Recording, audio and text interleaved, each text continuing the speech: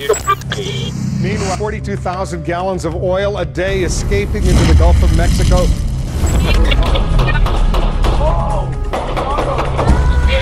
Christ. El calentamiento global también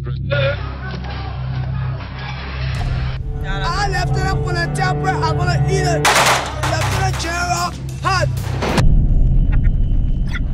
2012. The entire world was in really bad shape. The crisis was global, economical, political, ecological, a crisis of consciousness. Nobody really remembers that particular day when the entire humanity has fallen asleep.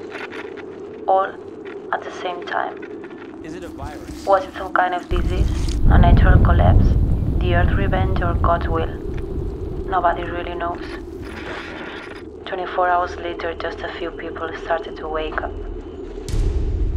World free of laws and government, with no communications, no electricity, no water, no food supply.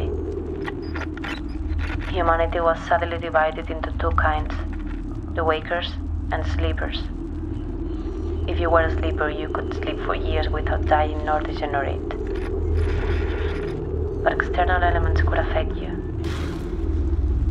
If you fall asleep in the water, you drown.